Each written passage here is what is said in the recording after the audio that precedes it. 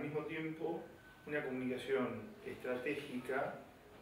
efectiva, efectiva para el que tiene que gobernar, o sea, que le produzca y le dé gobernabilidad, pero al mismo tiempo una comunicación que esté orientada al entendimiento con el ciudadano. Es decir, hay, hay una eh, decisión y una dicotomía que se plantea que es o tenemos comunicación estratégica efectiva o tenemos comunicación estratégica eficaz, pero si tenemos eso no vamos a tener una comunicación orientada al entendimiento con el otro, hacia la transparencia, una comunicación que realmente esté preparada para la participación, para que haya una, una comprensión mutua que es, de alguna manera, algunos pueden pensar que esto es ideal, o idealista, mejor dicho, pero si no planteamos en una democracia como la nuestra vías para, las dos, para estas dos opciones, caminos para que estas dos, estos dos, estas dos estrategias sean compatibles, eh, la comunicación nunca va a terminar de eh, generar los resultados que tiene que generar.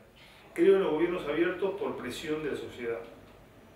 Creo en los gobiernos abiertos por presión de la sociedad y por decisión, casi por un decisionismo del que está eh, al frente del gobierno. O sea, creo que hay, gobiernos que vienen con la decisión de abrirse o que tienen la decisión de abrirse porque se combina la decisión ética del responsable de ese gobierno de abrirse, pero también lo, está, toma esa decisión moral o ética, práctica, porque ve que hay una necesidad y una demanda, hay veces implícita, otras veces explícita en la sociedad, para que haya más transparencia y para que el, ciudadano pueda tener acceso a la información que tiene el Estado y al proceso de transparentación del Estado, al proceso del gobierno abierto. Para que el ciudadano pueda activarse en procesos de... Eh,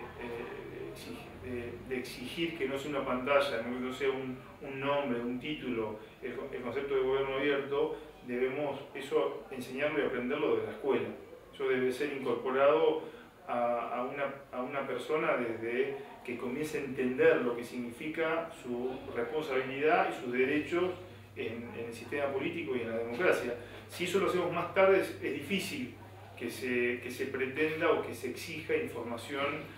pública, que es de uno realmente, pero que no estamos acostumbrados a tener.